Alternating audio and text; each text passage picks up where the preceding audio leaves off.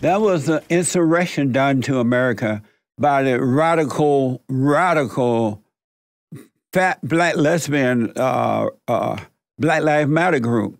They are Marxists. They, are, they were trained Marxists, according to them. They hate the order of the family.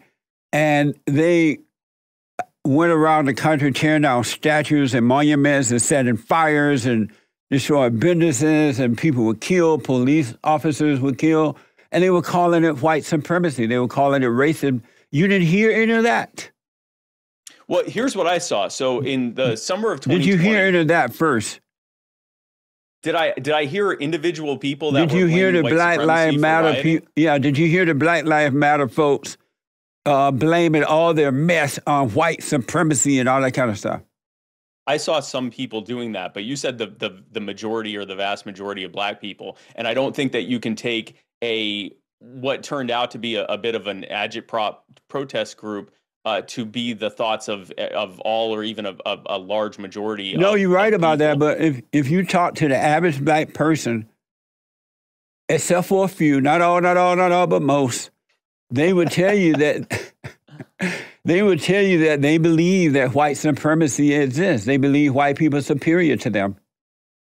Yeah, that has not been my experience at all. Really? I'm just I like I'm I'm I and it is not from a, a, lack of exposure to black people. So I, I, that's not been my experience. So you know, I, I, but you said you heard them say that white people think that they're superior. Well, no, I've heard to, some people say that. I, have heard some people say that, but I've not heard a majority or most or or even a, a what I would call a large plurality of them doing that. No, I, here's what I will say. I saw uh, in summer of 2020, uh, in the midst of the worst uh, single wholesale abuse of the rights of the people, which was the COVID regime and the lockdowns and mandates and all of that. I saw in the midst of that and all the misery that was causing, I saw what started as a natural and and organic reaction to an increasingly out of control police state uh, turn into uh, you know riots and uh, turn into uh, funding for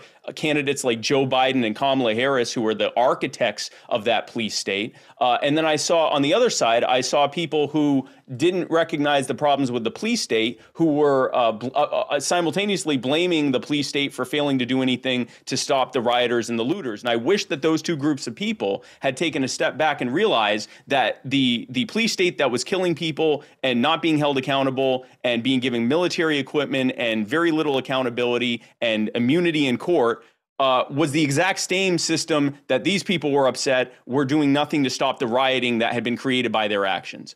Um, and so I wish that they had realized that they were largely they were against the same opponent, but instead, as is usual, the ruling class played them against each other, divide and conquer, and uh, and that's how that played out through the whole summer of 2020. There wasn't a single policy change, a significant policy change that happened at the federal level, uh, and uh, someone who cheer led the police state got replaced with the architect of the police state in the White House. Uh, so nothing good happened from that. Well, you know, as we all have noticed that most black people are just angry and out of control. They have no sense of self control. Why are the black, like for example, they have uh, taken away the bail bond thing, no bail bond, right? And, and no mm-hmm. police now. The police are gone. And the blacks are just where, where gone the, out wait, wait, of where, control. Where, is where, are the, where are the police gone?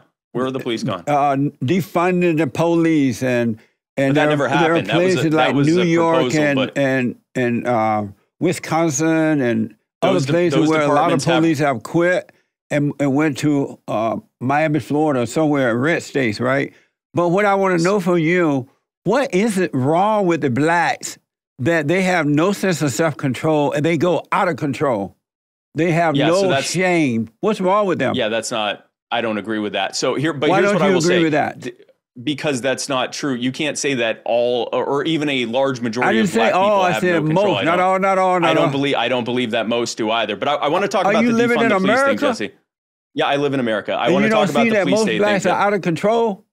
I want to talk about the police state thing. No, I, I don't believe that. So I, I, I think that if if 13% of um, um, black people make up what 11, 12, 13% of America. I think if 13% of Americans or even let's say 10% of Americans were truly out of control, then you wouldn't be able to go outside. It would be worse than Mad Max. Well, no, that's I coming. It, almost no, at that not. point it's, right now.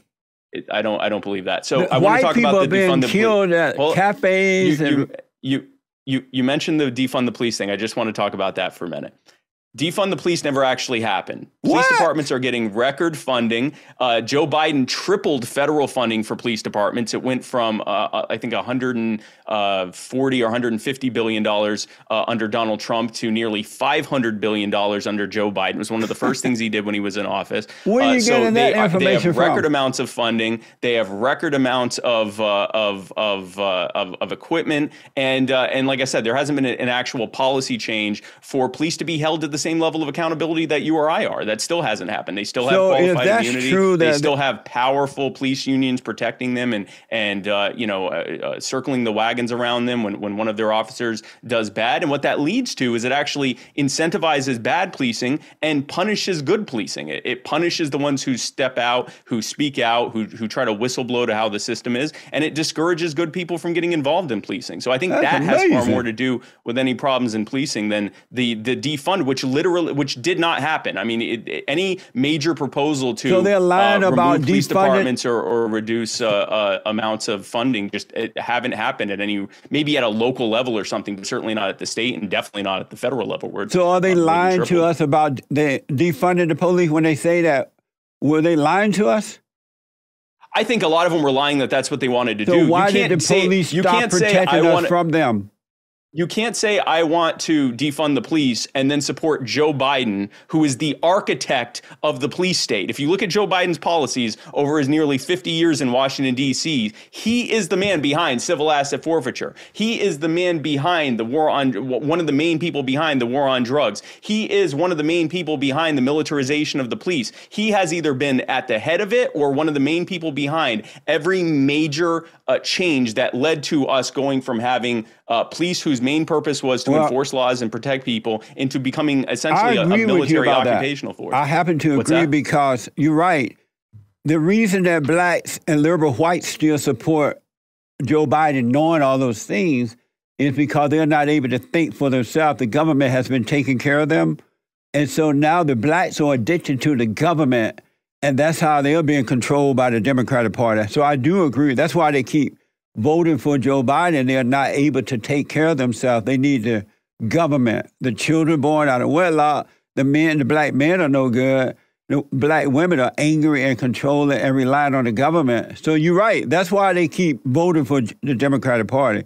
But you what added some things I didn't say there, but okay. no, I'm, I'm just agreeing with you that that's why they support the Democrats because the blacks are incapable of taking care of themselves.